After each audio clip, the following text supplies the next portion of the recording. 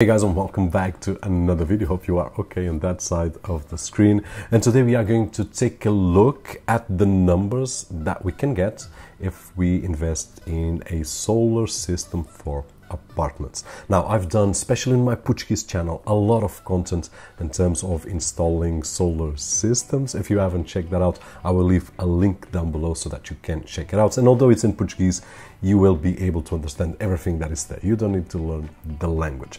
Now, regarding this particular system for apartments, I also did two videos so far, one of which was the installation, which there will be a link down below, and one of which was also one month later the feedback that we had in terms of numbers. But that second video probably it's not necessary for you because I'm going to share with you the info that I have and ultimately if it's an investment that it's worth it or not and which cases might better, which cases might be worse. One of the things that might be helpful is if you want to purchase a Windows 10 or Windows 11 Home Edition Pro Edition key at a budget, don't forget to check the link down below for B&H Software, which is a platform that we have been working for the past few months with great prices. They also have Office 2021 and other kinds of software, but those were the ones that we have tested successfully, purchasing, activating, and working flawlessly.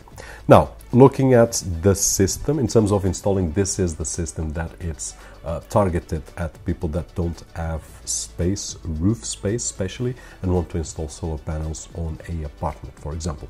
And in my opinion, it is worth it in some cases. There are some cases that I've got some difficulty in terms of the financial investment. Now, I've got a lot of things, numbers right over here, which I will share with you. One of the things that I would like to share is I live in Portugal, Algarve, so this is one of the important factors to have in mind when doing the calculations. These are my numbers. Depending on where you live in the world, they might be different. And also, I will be talking about the direction of the panels, depending if they are south, north, and so on and so forth. And this is important for you to make the calculations where I'm located so that you can see for yourself what you could get if you had these panels. Now, having that in mind, what we did right over here the first month, we did um, the panels turning to south and uh, with zero inclination, so straight, we got 0.86 kilowatts of production per day. If we did an inclination of 15 degrees, we had 1.6 kilowatts per day. And if we did 30 degrees, we had 2.1 kilowatts per day of production. Now, at this moment, I'm paying 20 cents per kilowatt here, more or less. So what we have here per day in terms of saving is 17 cents. Well, this is, these are the numbers. You can see that. And we have euros here in Portugal. If you have dollars or any other currency, you just need to make the calculations on your current currency.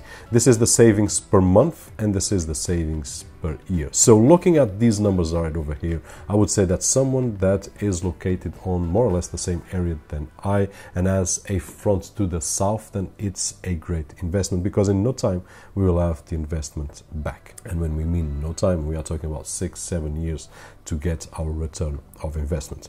Now, this was the first month of testing, and then I also did another tests right over here. And what I'm going to share with you is um, on another location which is in my house which I've got more space than on the first house where I did the tests on a friend of mine. What we did was with uh, south zero degrees inclination we had 1.35 kilowatts per day.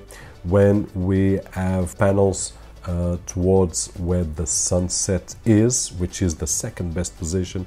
Then we have 1.02. When we have the panels where the sunrise is, which is not so good, we have 0.7. And then we also have the panels facing north, which is the worst position possible. Then we have 0.54 as average. This will give this savings per day, per month, and per year. So as you can see, North is not very attractive in terms of the investment, although I will not criticize anyone that wants to save 40 euros per year because 40 years is not bad and if the prices of energy keep on rising these 40 can change and be a lot more.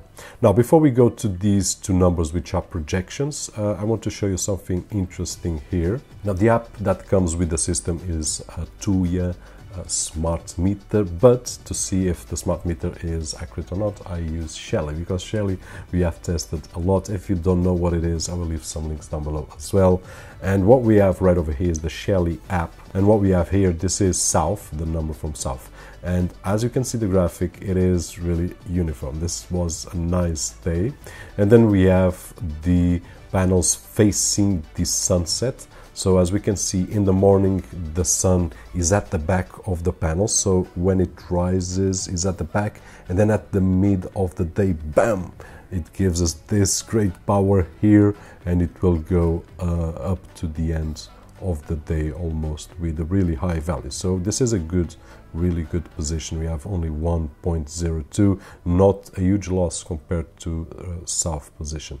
Now, if we face the panel to the sunrise, what happens is that we will have, as you can see here by the hours, at 9 o'clock, for example, we'll have a great exposure because the sun rises and it will be facing the panel, so we will get a lot.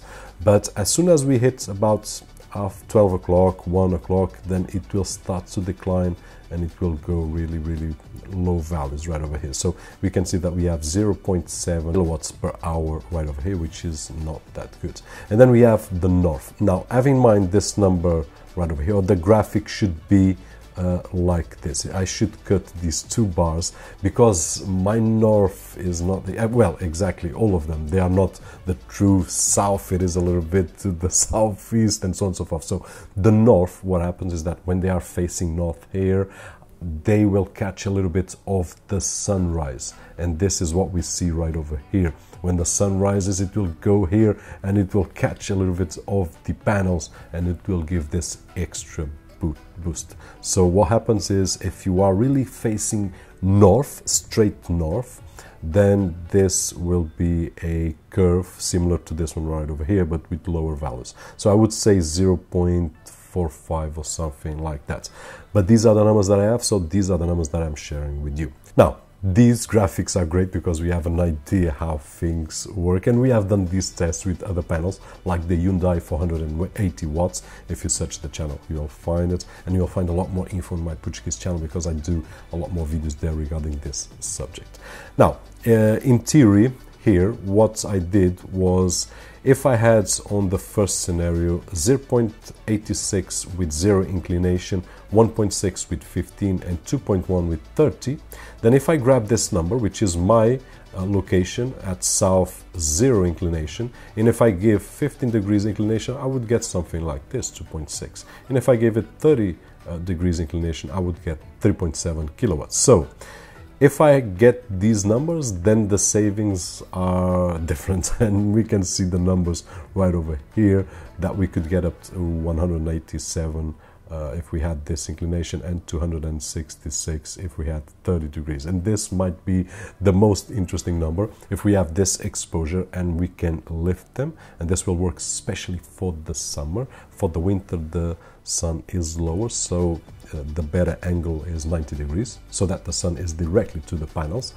But these are the most interesting numbers right over here. Of course these are theoretical theoretical sorry and all these are facts. So these are all facts two different locations. This is one location and this is another location. This is where i live as i said. So in my opinion what i can conclude is that all of these scenarios are really nice. And if you ask me hey robert should i invest in such a system? my answer would be mostly yes. The only one that i do really see difficult is north when you're facing north and even when you are facing the sunrise these two are difficult to say yes but my answer would be really fair here if someone would ask me hey robert I'm facing north, but I want to invest because I do believe that 40 euros is not that bad. And to me, instead of having 1,000 euros on the bank, I will expend here and then doesn't matter how many years I will recover my money but I know that I'm saving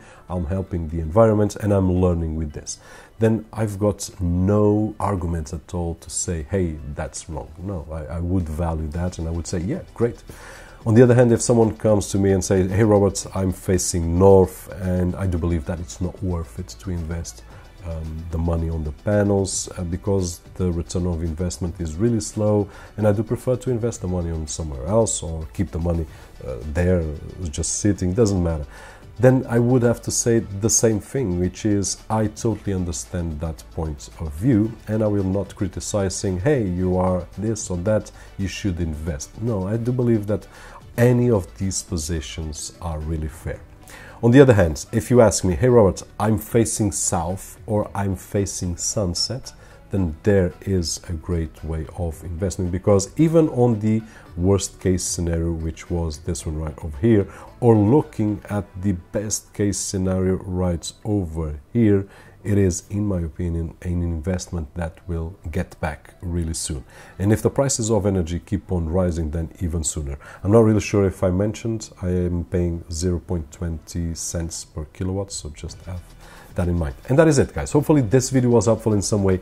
Links down below for a lot of info and it would be great to see you on the Portuguese channel. If you go there by some reason, forget to give a comment either on Portuguese or English. I will try to answer and give you that thumbs up. If the video was helpful in some way, don't forget to leave that thumbs up right over there, which is really appreciated on this side of the screen. My name is Roberto Jorge, and as always, I'll see you guys on the next one.